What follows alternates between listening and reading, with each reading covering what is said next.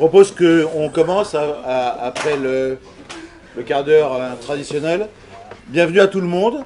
Un petit mot pour euh, vous dire euh, que c'est donc le Cercle du Coin, du Coin, association francophone, présente dans 6 ou 7 pays, on ne sait pas. On, compte Tahiti parce que ça nous permet de dire qu'on est sur un nombre impressionnant de créneaux horaires. Euh, très attaché à sa dimension francophone et donc euh, très heureux de tenir euh, son second meet-up à, Bruxelles.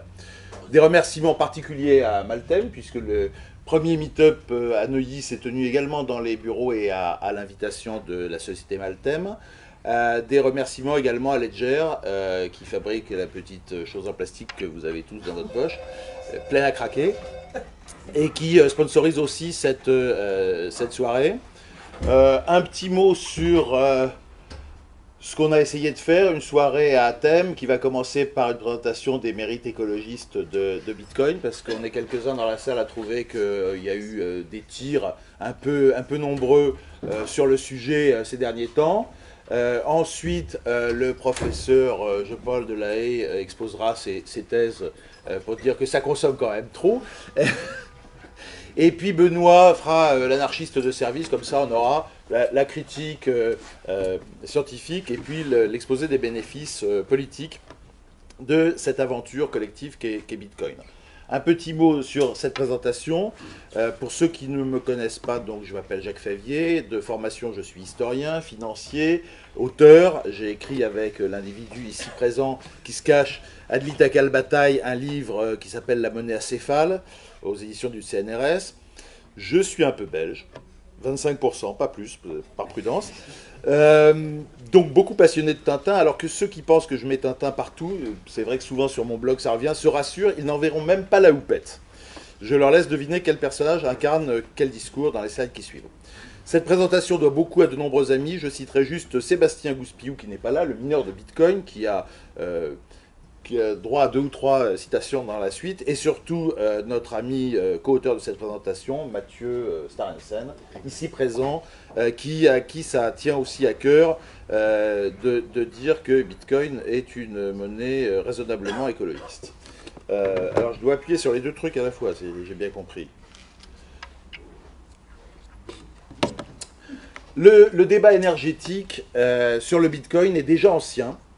Euh, mais depuis le début, et pour une part trop large, il nous semble fait uniquement d'imprécations, de chiffrage fantaisiste ou outrancier et d'argumentation un peu moralisatrice. Alors nous avons réuni sur cette illustration les tulipes et les centrales, non pas pour amalgamer les critiques, mais pour suggérer un possible renvoi dos à dos, parce qu'on ne peut peut-être pas parler à la fois de gabegie d'un côté et dire de l'autre que la valeur de la dite tulipe ne repose sur rien. Il faut donc choisir entre deux critiques contradictoires. En fait, ça fait des années qu'on voit fleurir, c'est le mot, euh, la question écologique et les débats sur le coût énergétique du minage, non seulement de la part de, journalistes en mal de sensation, d'écologistes fidèles à leur rêve de monnaie locale complémentaire, ou de snipers de la, finance classique, mais aussi au sein même de la euh, communauté Bitcoin, car il convient de dire que celle-ci est, très consciente de, euh, de l'enjeu. un article récent de Jean-Paul Delahaye euh, ici présent, relayé sur Bitcoin FR, y a provoqué, je crois, 86 ou 90 commentaires, ce qui est un nombre que n'atteignent que les commentaires quand ça monte très fort ou que ça baisse très fort. Euh, donc, chose rarissime, euh, Jean-Paul a réussi à faire aussi bien qu'une évolution brutale du marché à lui tout seul. Ce débat interfère clairement avec d'autres aussi vifs, quoique plus techniques, sur Proof of Work, Proof of Stake, etc., qu'on n'abordera pas trop ici. Euh, on va tenter de faire le point et de donner un éclairage euh, paradoxal. Alors la littérature euh, sur le coût énergétique et l'empreinte environnementale de Bitcoin a, selon nous, trois défauts majeurs. Elle est souvent imprécise, elle est malicieusement extrapolée et elle est uniquement et lourdement à charge. Tout le monde est d'accord qu'il y a un problème. Mais normalement, un procès, au moins en droit français, s'instruit à charge et à décharge. Euh, la thèse du désastre écologique est largement médiatisée depuis 2014. Euh, Alors, euh, moi, dans ces cas-là, je dis que si la nourriture surgelée gênait la BCE, peut-être qu'on nous nous assommerait avec des chiffres à son sujet. les premières études sont parties du hash rate, Du hash rate, on déduit un hash power, puis on fait des hypothèses d'efficacité, d'efficience des, dispositifs de mining, et par couche d'hypothèses successives, on en arrive à, essayer de, chiffrer, on va voir comment. Un peu plus tard, d'autres études partiront du reward, euh, c'est plutôt la méthode de, Jean-Paul, de sa valeur, et tenteront d'estimer le coût du minage et la part de euh, la composante énergétique dans ce coût. On peut enfin extrapoler à partir de telle ou telle ferme couplée à une production d'électricité identifiable et quantifiable, comme un, barrage, mais malheureusement, il semble qu'il y ait eu moins de tentatives en ce sens, euh, et, c'est un peu dommage. Euh, alors pour ceux qui veulent euh, attraper au vol les références, mais la, présentation sera en ligne, les études à charge ont un QR code rouge. Les études à décharge auront un QR code vert. Bien des études se fondent plus ou moins euh, sur une euh, première étude dite Allié de contrôle, euh, dépassée déjà en juillet 2014 et qui se fondait sur une étude encore plus dépassée de décembre 2013, qui était un doc sur Google Doc qui tablait alors, en décembre 2013, sur 45 MW et qui extrapolait à 110 MW pour avril 2014. Alors on cite ensuite à l'envie, partout, l'étude publiée en juin 2014 par deux scientifiques irlandais, Aude Dwyer et David Malone, qui établirait que la consommation du réseau équivalait alors à celle de l'Irlande. Alors, pour ceux qui, découvrent, euh, qui découvriraient le sujet, il vaut sans doute la peine de revoir ce que dit exactement ce texte. Euh, the total power used for Bitcoin mining is around 0.1 to 10 gigawatts. From 0.1 to 10. 100. De 1 à 100. Average Irish Electrical Energy Demand and Production. Déjà, demand and production, enfin bon, c'est une île, d'accord. Is estimated at around 3 gigawatts. So it is plausible that the energy used by Bitcoin mining is comparable to Irish national energy consumption. Alors, on confond 0 euh, à 100, 0 à 10, euh, on confond euh, la production et la consommation, l'énergie et l'électricité, etc. Ça reste la thèse de référence, au moins pour les journalistes, quand ils vous disent que c'est autant que l'Irlande. Euh, deux ans plus tard, et malgré d'autres études intermédiaires, Fabrice euh, Flippo et Michel Bern, deux enseignants de... Euh, pardon. En juin 2015, dans un article intitulé Bitcoin is unsustainable, publié sur Motherboard, alors ce n'est pas les articles récents puisqu'ils ont refait des tirs, Christopher Malmo, qui est un informaticien et écologiste canadien, faisait cette estimation assez impressionniste. According to my calculation, A single Bitcoin transaction uses roughly enough electricity to power 1.57 American households for a day. La fameuse 1,57 foyer américain. Alors cette estimation nécessite un détour par le site de l'US Energy Information Administration. On, fait on prend leurs chiffres, on serait donc à 30 kWh par transaction. On fait retour à Blockchain Info pour voir combien il y a eu de transactions cette année-là, 45 661 000 transactions, et on en arrive à 1 369 800 MWh euh, on, nage en plein délire. Chris Malmo prétend que le réseau consomme alors, en juin 2015, 250 à 500. Citant l'étude d'Aliet Control, dans laquelle on ne trouve pas ces chiffres, il est probable qu'il a dû user une règle de 3 quelque part. L'erreur la plus fréquente était déjà en 2015 de tabler sur la croissance exponentielle du réseau, mais de négliger l'efficience également exponentielle, euh, exponentiellement croissante du minage.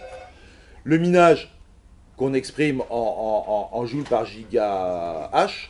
Euh, c'était 5 joules par giga H il y a 4 ans. Quand a été rédigée l'étude de Google, ça a été multiplié par 33 depuis lors. Euh, on serait, euh, enfin divisé pour les plus exactement, on serait à 0,15 joules par, par giga H. Deux ans plus tard, euh, et malgré d'autres études intermédiaires, Fabrice Flippo et Michel Bern, qui sont euh, des enseignants euh, de l'école Telecom Management, ne citent toujours que les chiffres irlandais et écrivent dans l'étude parue dans The Conversation que Carl O'Dwyer et David Malone ont montré, Plum, dans une étude publiée en 2014, que la consommation du réseau destiné au Bitcoin était probablement de l'ordre de, de grandeur de la consommation électrique d'un pays comme l'Irlande, soit 3 gigawattheures. 3 gigawatts, pardon. Alors, comme pour tout chiffre cité de seconde main, ça c'est l'historien qui parle, ce qui était d'abord écrit dans le sable tente à devenir gravé dans le marbre, à la seconde ou à la troisième citation, ça c'est un phénomène historique connu. Ensuite, on extrapole, c'est presque toujours, imaginons que les monnaies de type Bitcoin se généralisent, la masse monétaire mondiale en circulation est estimée à 11 000 milliards de dollars, la consommation d'énergie correspondante devrait donc s'élever à plus de 4 000 gigawattheures, soit 8 fois la consommation énergétique de la France. Donc on passe du stade expérimental de la chose à l'idée que ça remplace le dollar. Euh, notez que nul ne songe à harmoniser les chiffres comparés. Entre nous, la puissance s'exprime en unités de watts, la production-consommation en unités de wattheure. Il faut multiplier par 24 par 365, donc c'est pas si compliqué que ça.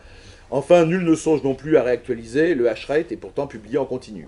Il est passé de 120 TH à la seconde en juin 2014 à 1500 de la même unité en juillet 2016. Euh,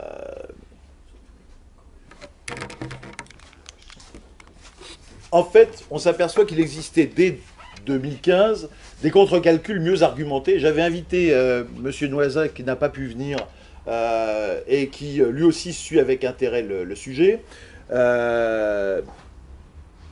son étude est malheureusement moins citée. J'en citerai un court passage. La puissance de calcul totale du réseau est de 500 milliards de millions de, de H à la seconde. À la date du 28 novembre 2015, il parle. L'efficacité du matériel de minage peut être estimée autour de 2000 MHz euh, par joule. La consommation électrique totale du réseau Bitcoin, disponible dans le monde entier, se situe donc autour de 250 millions de joules seconde, soit 250 MW, c'est-à-dire l'équivalent de 100 000 maisons aux États-Unis. Exprimé en consommation annuelle, donc 250 x 24 x 366, on serait à 2,19 TWh. Ça pour des chiffres fin 2015. Alors, euh, j'ai envie de dire, euh, Interrompons, nous, ici un instant, car euh, ce débat sur le chiffrage est toujours en cours, et finalement, je voulais montrer historiquement comment ça s'était structuré et comment ça dérape, mais euh, les chiffres peuvent être recalculés tous les 3 à 6 mois aujourd'hui. Euh, le débat va rester vif, et regardons quelles ont été les réponses apportées par les uns ou par les autres dans la, dans la communauté Bitcoin, et globalement, je vois trois types de réponses. La première, alors je passe sur le vaste débat proof of work, proof of stock, euh, stake. J'ai le sentiment que la plupart des matheux et des spécialistes considèrent que rien n'égale la sécurité du proof of work, et n'égalant pas ces messieurs en sciences, je me rallie à leurs sentiments. Première réponse donc, les écolocoins. Ils ont été innombrables et nous avons sans doute mieux à faire que de les passer en revue. Je vais citer le SolarCoin parce qu'il y a une communauté bien euh, présente, je crois, à Bruxelles. On vient de nous annoncer la naissance du Biocoin. Alors je cite quand même pour les amateurs, un écosystème actif qui soutient les communautés locales et l'économie verte en créant un réseau mondial de consommateurs et d'entreprises socialement responsables et en accélérant l'adoption générale de l'agriculture biologique, du développement durable et d'une consommation responsable. Good luck. Apparemment, c'est une ICO, ils ont quand même levé 3,5 millions de dollars. Et puis il y a aussi Kia Network, l'initiative de Nram Cohen, avec une nouvelle crypto basée sur le proof of time et le storage. Bon, on en trouve tous les matins des, des coins qui sont dotés de vertus écologiques. Euh, j'ai décidé de ne pas trop en parler. Voilà. Deuxièmement, la réponse blockchain vertueuse. Le livre de Philippe Rodriguez, Blockchain Révolution, est assez emblématique de la mise en avant des vertus de la blockchain. C'est pour ça d'ailleurs qu'une partie des citations euh, ont été pompées directement dans son livre. Dans le secteur de l'énergie, cette optimisation de la distribution de l'électricité, du gaz ou encore du pétrole a encouragé, nous dit Philippe Rodriguez, la mise en place de réseaux électriques intelligents, smart grids, euh, coordonnant le réseau de distribution de l'énergie pour en améliorer l'efficacité, mieux et moins utiliser l'énergie, et donc une possibilité grâce aux techniques, euh, technologies informatiques. Je crois d'ailleurs que euh, c'est une, problématique sur laquelle Maltem réfléchit activement. Quand on va dans leur bureau à Neuilly, on voit des petites... Maquettes de, de cités intelligentes. tout ça est assez intéressant, mais le problème c'est que ça concerne assez médiocrement le Bitcoin et en fait ça ne répond pas à la question. Donc la troisième euh, réponse, c'est la polémique euh, un peu frontale, euh, qui, il faut bien dire, est notre vraie nature. Toujours selon Noisa, en fin 2015, je le cite en fin 2015, il existe environ 2 millions de distributeurs de billets dans le monde, chacun consomme en moyenne 200 watts, et même si les modèles les plus récents affichent une consommation théorique de 70 watts, au final, les seuls ATM consomment 400 mégawatts contre 250 pour le Bitcoin à la même époque. Alors d'abord l'argument temps à s'user. Dans notre livre, Adli et moi, on a fait de savants calculs euh, qu'on a fait vérifier par les uns, par les autres pour voir qu'on n'était pas faux de, 50%. Et on en arrivait à 423 MW en, en, décembre 2016. Euh, mais il est clair que la comparaison avec les seuls DAB est un peu légère parce que le domaine bancaire est encore largement plus énergivore que Bitcoin. De combien? Le calcul de Noisa se fait sans compter les réseaux de data centers auxquels ils sont connectés. Combien consomment les supercalculateurs montés en série dans des data centers, entourant toutes les places boursières? C'est la question posée par Gus Pio, vous l'avez peut-être vu sur le, Slack du cercle récemment. Combien consomment ces robots traders à haute fréquence qui n'apportent rien d'autre à l'humanité que des flash cracks euh, destructeurs? C'est une question qui mériterait d'être posée. Il y a une étude d'un Suédois, au nom imprononçable, donc il est bien suédois, Bi, By, euh, de 2015, qui est, qui, est le type même de l'étude qui me plaît, parce que lui, il part d'un exemple précis, il part de la tour Bank of America de New York, euh, en soulignant que c'est l'une des plus vertes du monde. Elle consomme quand même 8 millions de watts, soit davantage au mètre carré que le vieil Empire State Building qui n'avait pas été vendu comme écolo. 8 millions de watts pour 3500 employés. Euh, alors, euh, les meubles suédois Nanogby fait une règle de 3, qui me paraît légitime. Ils disent ont 159 000 employés dans le monde, grosso modo, ça doit le faire. si on extrapole, ça fait 363 millions de watts pour la Bank of America. Toujours ainsi, sur la base du nombre d'employés, on serait à 2630 MW pour les 20 plus grosses banques américaines seulement, en rappelant d'ailleurs qu'elles ne fonctionnent pas 24 heures par jour et 7 jours par semaine. Combien de foyers ça? Ah, Ça fait pas mal de foyers. Au passage, le coût du, Bitcoin dont on parle tant pourrait peut-être être comparé à celui de l'or dont on parle beaucoup moins. Chaque année, on extrait environ 2700 tonnes d'or, qui valent environ 100 milliards de dollars. Donc en gros, chaque année, on extrait en or la valeur actuelle de, la blockchain Bitcoin. Euh, et euh, euh, la valeur de tous les bitcoins est 30 fois plus que la valeur des bitcoins émis cette année. On dépense très probablement beaucoup plus par an en moyen pour extraire ces 100 milliards d'or que pour extraire des bitcoins. Le coût, d'après Jean-Paul Delahaye, devrait être de 3 milliards de dollars quand le coût de production se sera ajusté au cours du bitcoin à 5000 dollars, il nous le redira. Et la dépense pour extraire de l'or a aussi, comme pour les bitcoins, un coût écologique très important, qui est donc aujourd'hui bien supérieur à celui de l'extraction des bitcoins. Pour en revenir au monde virtuel, euh, qui s'émeut de la consommation électrique d'Internet? Qui s'en prend aux data centers toujours plus grands Alors on vient de voir passer l'information comme quoi les chatons sur YouTube consommeraient, euh, enfin dégageraient plus de CO2 que euh, les avions. J'ai lu ça, ça me paraît ça paraît probable en plus. Hein. Euh, alors, je dirais cette polémique est euh, technicienne, elle n'est pas philosophique. Donc, euh, ça, c'est les grandes attitudes polémiques de, la communauté. Où est-ce qu'on en est maintenant? Quelles que soient les qualités, les défauts, les limites des études de 2014 à 2016, j'ai dit, elles sont maintenant classées au, rayon de l'histoire ancienne. Au-delà de leurs approximations, des fourchettes de 1 à 100, etc., leur principal défaut est d'avoir tenté d'extrapoler Bitcoin, toutes choses égales par ailleurs et sans finesse. Genre, combien de bitcoin consommera s'il doit remplacer le dollar pour toutes les transactions en minant avec des GPU Or, les choses semblent plus compliquées et probablement, peut-être, euh, en tout cas, plus rassurantes. Euh, la controverse se poursuit, euh, surtout autour désormais des publications récentes qui partent de chiffres publiés sur Digiconomist par Alex Devry, qui reste très discret d'ailleurs. Notons quand même qu'il n'est pas seulement le propriétaire du site, il travaille actuellement à la fois chez PwC et pour la Banque Centrale des Pays-Bas. Le site Digiconomist, sur sa page Bitcoin Energy Consumption, actualise et publie des données assez variées comme quelle est la place de Bitcoin par rapport au pays. Il le classe 69e entre le Nigeria et l'Équateur. La comparaison de l'énergie consommée mondialement par Bitcoin avec la consommation de certains pays.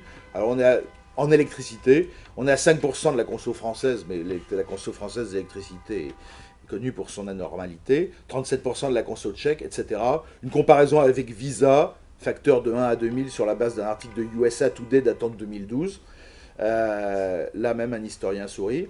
Euh, tellement approximatif que d'ailleurs Alex Devry est obligé de se dédouaner de la comparaison qu'il fait avec Visa. On reviendra tout à l'heure sur la pertinence des euh, comparaisons faites euh, avec Visa ou avec PayPal sur le simple nombre de transactions.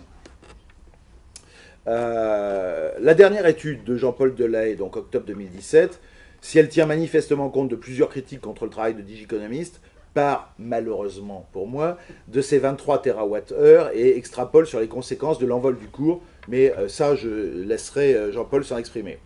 Euh, notez que Digi Economist dit que ça va s'ajuster en quelques semaines et que Jean-Paul Delahaye dit, est plus prudent, il dit que ça pourrait s'ajuster en quelques mois ou par rapport à la, consommation électrique par rapport à la hausse du cours.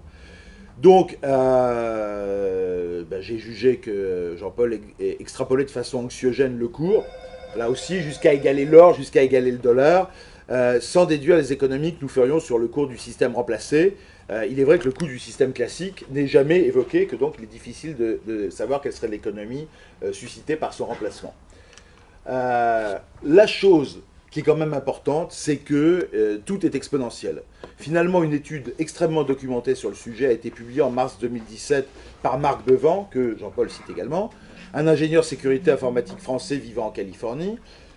Citons à nouveau Jean-Paul qui ne dit rien des liens d'Alex Devry avec la banque des centrales des Pays-Bas, mais qui insiste sur le fait que euh, M. Bevan est peut-être intéressé à démontrer que cette consommation électrique n'est pas grave, car il a des liens avec l'industrie qui produit les puces spécialisées. Voilà, chacun a été mis face à euh, conflits d'intérêts, euh, pour dire que, bon, c'est un débat. Après avoir repris et critiqué les études précédentes, Bevan a juxtaposé la charte du hash-rate avec des données techniques très précises sur les ASIC et sur leurs efficiences. il donne une fourchette actuelle, 2017 de 325 à 774 mégawatts. Euh, ça met notre estimation à lui maintenant un peu dans le bas de la fourchette, mais c'est normal. Pour un réseau des dizaines de fois plus grand que, la fameuse, que, ce qu'il était au moment de l'étude de, de, 2014. Bref, on serait entre 10 et 20% de la borne haute de la fameuse étude irlandaise de 2014, malgré une extraordinaire montée en puissance du réseau. Son étude a aussi le mérite de donner des chiffres sur la profitabilité du minage, chose utile puisque certains calculent l'empreinte écolo du Bitcoin à partir d'hypothèses euh, court-profit-court. Donc là, je ne sais pas si vous distinguez, mais vous irez voir sur le site de, de, euh, il y a en dessous de cette charte énormément euh, de choses qui donnent à réfléchir et qui en tout cas permettent de critiquer les raisonnements à, la, pelleteuse qui ont été évoqués tout à l'heure. alors, osons relever le défi. Et si Bitcoin était une technologie verte euh, rien que l'US Treasury consommait autant que le mining Bitcoin en, 2014. Il euh, y, a quand même un certain nombre de, questions qui se posent et qui sont listées ici, euh, qui permettent de, peut-être cesser de se défendre. Le, grand argument de, de, Mathieu, quand on en parlait, c'est de dire on n'est pas assez courageux. On est en défense. Face à toutes ces polémiques, on est en défense, en, rectifiant les chiffres, etc. Mais il y a des vertus euh, qu'on peut peut-être euh, euh, afficher de façon plus, plus offensive. alors, on voudra en venir à des considérations plus écologiques.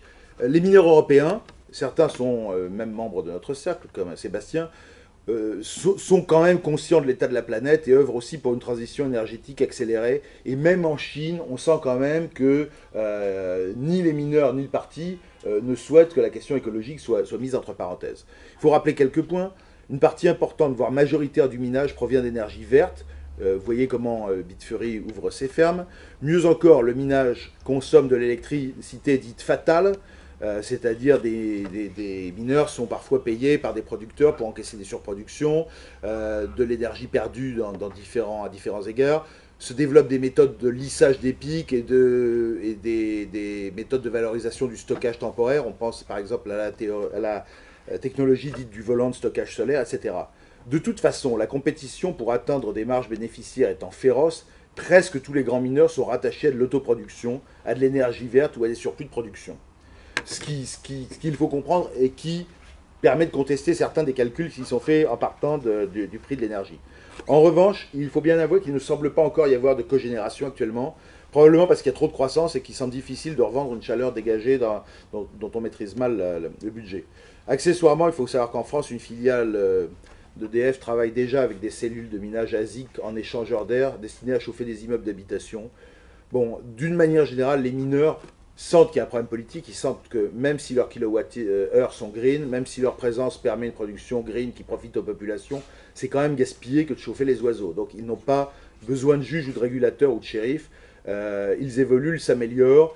Euh, une part quand même euh, significative des, mineurs ont conscience de leur responsabilité vis-à-vis de Bitcoin et veulent une image propre pour que Bitcoin soit honnête. Alors, ça ira lentement ou ça ira vite, ça ira peut-être très vite. La proof of work est probablement indispensable au protocole et donc elle doit être présentée comme un bienfait. Le minage doit être une chance pour une région, voire pour un pays. Euh, d'abord au, niveau de, parce que ce sera un jour un impératif de souveraineté, mais peut-être parce que ça peut être intégré dans euh, le, remodelage de notre processus euh, énergétique.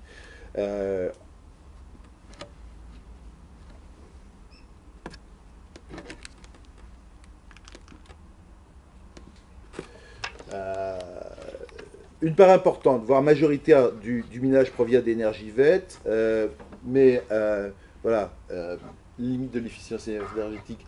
Le mining est un laboratoire où l'efficience et la recherche de l'énergie la moins chère possible est, la seule et unique clé génératrice de marge bénéficiaire.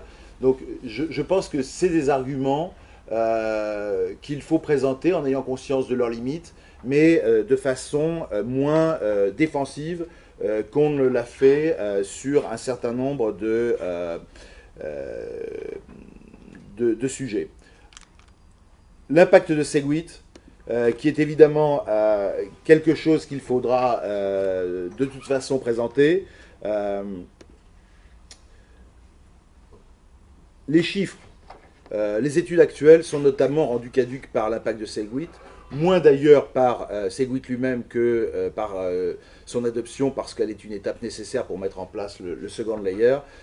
maintenant, pour être précis, que le problème de malléabilité a été résolu avec Segwit, on peut avoir avec le Lightning Network une implémentation en métaprotocole, et puis probablement d'autres recherches qui vont apparaître, et c'est là que ça va changer, et de façon probablement spectaculaire les chiffres qui font une division de la consommation énergétique euh, par le nombre de transactions euh, on-chain vont devoir être révisés de façon drastique parce que le Lightning Network va permettre de euh, démultiplier les transactions d'un facteur 100, voire 1000, ce qui fait que les 300 000 transactions quotidiennes pourraient être des millions.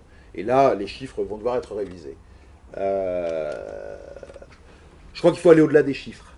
Tout ce qui a été dit est instable, c'est éphémère, la course au H va se poursuivre, l'efficience du mining va encore augmenter, le cours aussi, euh, sans doute, des paramètres vont changer, du fait de Segwit et du Lightning Network, comme on vient de le dire, peut-être aussi si Ethereum réussit réellement à passer en Proof of Stake, on verra. Enfin, euh, du fait de l'apparition d'algorithmes tels que CryptoNight, euh, qui est résistant au, mining parasique. On verra bien. Bitcoin, de toute façon, consommera toujours trop d'énergie pour ceux qui le jugent inutile, et ceux que Bitcoin enrichit ou réjouit défendront toujours cette dépense comme un investissement. Donc venons-en au second défaut mortel de Bitcoin, toute cette énergie verte pour seulement 21 millions de coins, c'est la grande critique. Euh, je demande, et si c'était là au contraire le point vert? Les monnaies rares du passé ne peuvent certainement pas être un modèle pour les économistes. Euh, les historiens en connaissent trop bien les défauts, qui d'ailleurs n'échappaient même pas aux contemporains de l'époque. Euh, mais il y a un détail, c'est qu'on n'est plus dans le passé nous ne sommes plus dans une économie de la faim, en tout cas euh, en Occident. Euh, nous ne sommes plus dans une économie de la faim, nous ne sommes plus dans une économie de l'échange difficile. Nous ne sommes plus dans un présent où tout est compté et qui doit actualiser le futur, c'est-à-dire en gros renvoyer vers un meilleur futur les remboursements. Aujourd'hui, la rareté monétaire n'a pas du tout le même sens aujourd'hui. La rareté que dénonçait par exemple Proudhon, la, ruse que suggérait Keynes, les expédients euh, que mirent en œuvre les États et les banques, c'était pour financer les guerres, et puis ensuite pour financer la croissance. Aujourd'hui, l'abondance monétaire euh, n'est plus du tout celle qui a permis la reconstruction après-guerre les Trente Glorieuses, époque, entre nous soit dit, d'encadrement du crédit et de tutelle des États par les banques centrales. Euh, aujourd'hui, on a une abondance infertile qui est génératrice de, bulles. Euh, donc une monnaie rare, c'est peut-être quelque chose qui mérite d'être considéré comme une monnaie de la finitude. On dénonce parfois le QI, la création de monnaie sans relation avec une croissance d'activité économique, lien qui est pourtant censé être le sous-jacent de la monnaie réelle. Mais que dire de la disproportion entre la création de monnaie, entre le stock de monnaie existante, soutenu par une pyramide de dettes, et les stocks finis de pétrole, d'eau douce, d'uranium, de terres rares et de carbare? Euh, Le bitcoin est une monnaie sans dette. Le bitcoin exprime le pouvoir d'achat, là où la monnaie dette des États et des banques exprime aussi le pouvoir de l'argent sur la société, le gouvernement par la dette. Le bitcoin est une monnaie finie, elle s'oppose donc à la monnaie de crédit et de dette qui incarne la logique de production pour la production, c'est-à-dire l'introduction de l'infini dans l'univers capitaliste. De sorte que, paradoxalement, je dirais que tant décrié comme un instrument de spéculation, le Bitcoin est tout autrement une monnaie de la finitude, dont on découvre peu à peu qu'elle est, euh, qu'on le veuille ou non, c'est pas forcément réjouissant, notre horizon écologique. Alors peut-être il faudrait concevoir une économie axée sur la division du fini, et là, Bitcoin, qui est divisible pratiquement à l'infini, euh, est, un, exemple contraire face à l'expansion infinie qu'on justifie euh, par tous les moyens euh, dans l'économie classique. alors je termine sur un point plus difficile, les monnaies communes. Les communs sont une vieille chose que des économistes réétudient avec intérêt. Un bien commun est une ressource, matérielle ou non, dont l'utilisation privée est rivale, car elle peut être dégradée par sa consommation, mais sans être exclusive. Alors pour les sociologues, de façon plus simple, les biens communs ou communs correspondent à une gestion collective de biens matériels ou immatériels. Aujourd'hui, certains parlent de révolution des communs. Alors, faire attention parce que dans le jargon contemporain, quand on dit que c'est une révolution, c'est que c'est déjà récupéré par le système. D'autant que l'État se présente toujours spontanément comme le gestionnaire naturel des communs et qu'il arrive trop souvent, malheureusement, à se faire reconnaître comme tel. Euh, d'autre part, les tenants des monnaies locales complémentaires aimeraient bien que ce soit leur monnaie qui soit décrite comme des communs. Donc, on est sur un sujet euh, euh, un peu dangereux, mais tant pis. Je dirais qu'en tant que protocole, Bitcoin est un bien commun. Chacun peut s'en servir sans qu'il appartienne à quiconque. En tant que processeur de paiement, son usage est possible à tous. On ne sollicite pas un compte Bitcoin, on se crée soi-même une adresse. Je vous ai remarqué au déjeuner tout à l'heure que c'est quelque chose qu'on ne présente pas assez. Euh, le fait qu'on n'a pas à demander l'autorisation d'ouvrir un compte. Euh, c'est assez dénoncé euh, par, par les, les, du KYC. L'entretien du protocole, ce qui est par ailleurs dénoncé comme sa gouvernance imparfaite par les centralisateurs, se fait de façon ni publique ni privée. Je ne dis pas commune, je dis ni publique ni privée. Mais au-delà de cet aspect commun à certains égards, il y a une chose politique à dire, et je pense que Benoît y reviendra. Bitcoin est une euh, valeur contextuelle. Une part du coût d'entretien de Bitcoin par sa communauté est de l'ordre, alors je vais faire frémir puisque je suis en dehors de l'hexagone, est de l'ordre de la dissuasion. Euh, disposer en cas de coup dur, en cas de coup de force, euh, des autorités contre nos libertés, à la fois d'une réserve de valeur non saisissable et d'un processeur de paiement non censurable. C'est un bénéfice euh, en termes humains. pensons un instant que les mensonges des États portent aussi, et d'ailleurs assez souvent, sur l'environnement, sur la pollution, notamment le nucléaire, et que Bitcoin peut être le soutien d'une presse qui les défie sur ce terrain.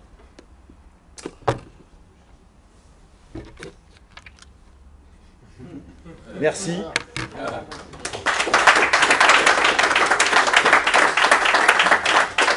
Alors, il y a une chose qui a dû sauter, mais on, l'a évoqué quand même, euh, c'est la thématique euh, contester le chiffrage à la transaction. On en reparlera peut-être tout à l'heure. Euh, le chiffrage à la transaction, c'est le chiffrage des vertus du processeur de paiement. Mais on, Bitcoin, c'est aussi un, store of value, et donc il faudrait euh, arriver à distinguer, mais ça on allait demander au professeur comment il pourrait distinguer les deux coûts.